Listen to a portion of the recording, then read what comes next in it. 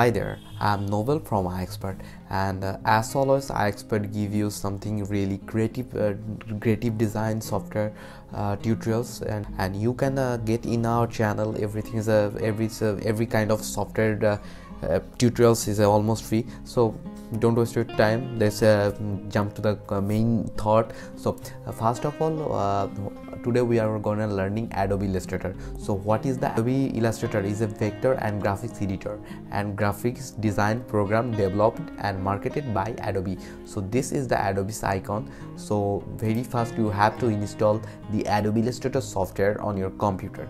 So that's that's when you just uh, install on your computer. So you get a Surface uh, Adobe Illustrator uh, dashboard like this. So you don't worry about that if you have Adobe Illustrator CC version or old version don't, don't worry about that. So everything is almost same. Every work is almost same. So if you uh, if you have some creating talent you can make a design any kind of version with it.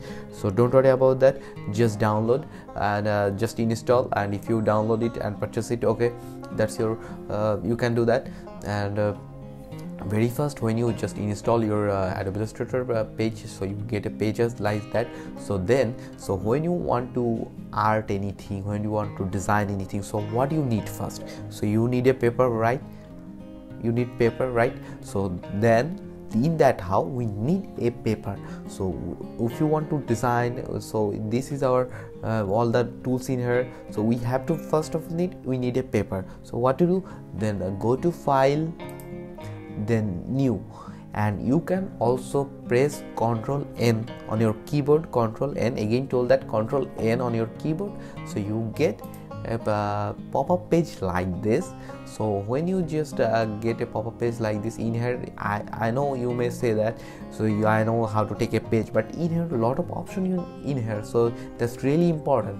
So you know in here you see this that's a recent mode and uh, that's the mobile and that's the web. So what is that? So when you are working on the ui design and a mobile so in here they make also their uh, also page size in here. So iphone page size uh, and it's also the web. So when you're web designing so you can uh, uh page web designer so page in here like this. And and also so when you just working on print print function so you see that that's in here print. So you get that a4 a4 a3 b4 b5 so everything in here. So now come to the question. So you see your uh, you want to be work on the inches right?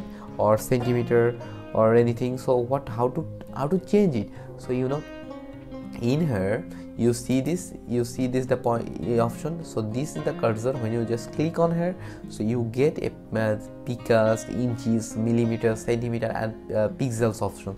So when you just working on inches so you just click on here so you get inches. So you can you can randomly create your page. So just take an uh, ju just uh, put in uh, any numbers what uh, you want. So you want to put your custom numbers in here custom page size in here. So that's a pretty much easy and interesting thought. So that's how you can uh, in the you can make your any kind of page. So but but i'm working on a so make it a a4 size in any now. So just uh, put it inches and uh, in here the advanced option. So you know so when you just add click this advanced arrow in here this arrow then you get a color mode. So the cmyk so in here you see that the RGB colors and the CMO, CMYK color. So when you working on the something uh, for your uh, design so you can uh, working on RGB so you if your raw colors and uh, very very bad colors so you can work on uh, RGB colors.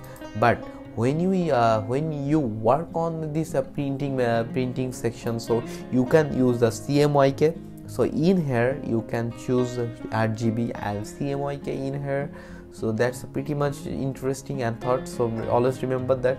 So in here remember that. So you don't have the CMYK and RGB option in here because uh, so when you just click this advanced option in here so you get a uh, pop-up uh, so it's uh, up and uh, you choose from here here CMYK or RGB like this. So you choose the RGB or you choose the CMYK so your wish there. So then create.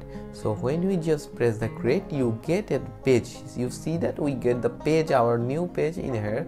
So that's it and I think uh, this you uh, gives you some information so you can use it. So you read uh, uh CMYK RGB and how to change this uh, inches to millimeter centimeter everything.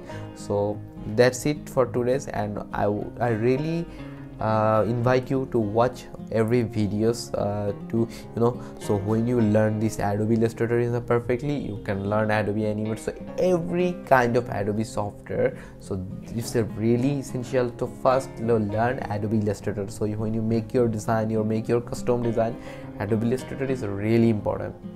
And as always if you think that's really worth your time so please uh, make this subscribe button you know when you press the subscribe button this family will, uh, will, be bigger.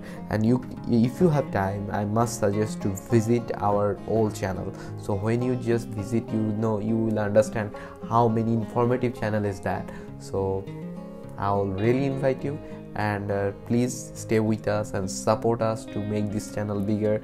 And see you another class. Take care. Bye bye. Uh, you get this your what you want. And wish you proper respect your time and if you think that's really useful for you please subscribe and make this family bigger.